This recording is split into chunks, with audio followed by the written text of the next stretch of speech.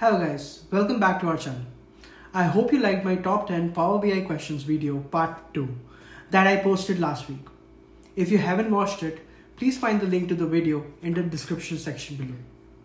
Today I will be sharing with you the most repeated DAX expressions that can come in your PL 300 certification exam in 2024. It's important to note that these DAX expressions have mostly been repeated in my practice tests and this list is just based on my personal experience with the PL 300 exam. So please at least go through these expressions in detail while studying and preparing yourself to get certified in Microsoft Power BI. If you are too scared of DAX, I should say this to you that do not worry at all. In your PL 300 exam, mostly you will find very few basic DAX expressions repeated in different forms for questions and mostly you might be able to guess the answer just by looking at those options. But you should know these expressions well. So uh, try and practice as many questions as you can for the DAX expressions that I'm going to share with you today. So without further ado, let's get started. First, please bookmark this link as Microsoft Learn website is the best resource to get yourself well acquainted with data analysis expressions or DAX. So the first expression we need to know is count. How do you write this DAX expression? We write it as count, open brackets, column, close brackets. The count function counts rows that contain the following kinds of values. It could contain numbers, it could contain dates, or it could contain strings. When the function finds no rows to count, it returns a blank.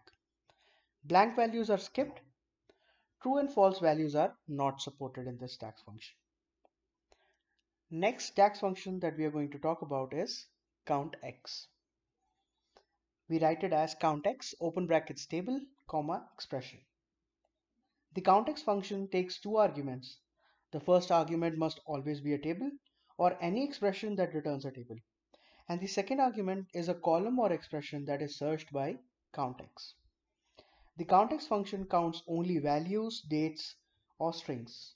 If the function finds no rows to count, it returns a blank. Here the example that we have is count open brackets product, comma list price. So this formula returns a count of all rows in product table that have a list price. Next function that we are going to talk about is distinct count.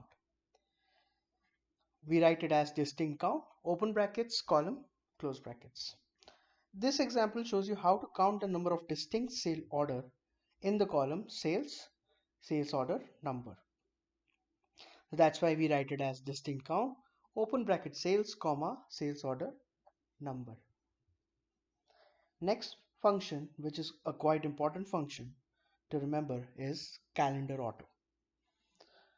We write calendar auto DAX function as calendar auto open bracket fiscal year end month close brackets.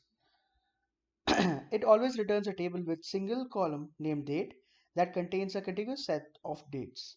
The range of dates is calculated automatically based on the data in the model.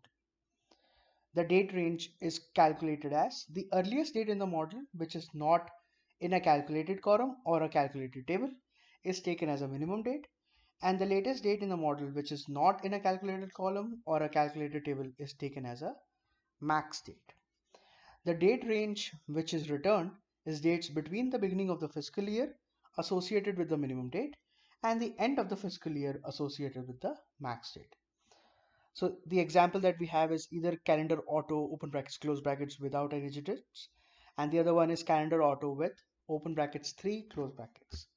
So suppose in the data model you have dates in the range of Jan 1 2012 and April 31 2013 the calendar auto open brackets close bracket without any digits will return all the dates between January 1 2012 and December 31st 2013 whereas the calendar auto open brackets 3 close brackets will return all the dates between April 1 2012 and March 31st 2013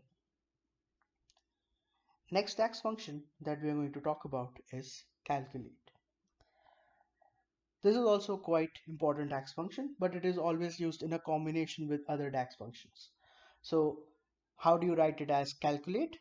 open brackets expression, square bracket comma filter 1 comma filter 2, square brackets comma square bracket close, square bracket close, square bracket close, close the other bracket.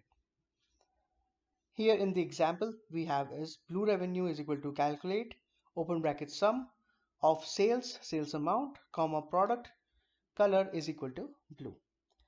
The sales table measure definition produces a revenue result but only for the products that have the color blue. The calculate function evaluates the sum of sales table, sales amount column in a modified filter context. A new filter is added to the product table color column or the filter overrides any filter that's already applied to this column. So this brings us to the end of this video. I hope you were able to study and understand these DAX functions for your upcoming PL300 certification exam.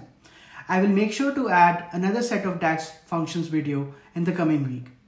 I'll make sure the links to the Microsoft Learn website for these DAX functions are available in the descriptions below of this video. Finally, I wish you all the best and I hope you pass the certification exam with flying colors. If you like these videos, don't forget to hit the subscribe button. Also, please like and share our videos to show your support. Have a great day and best of luck with your PL300 certification exam preparation. Until next time, take care and bye bye.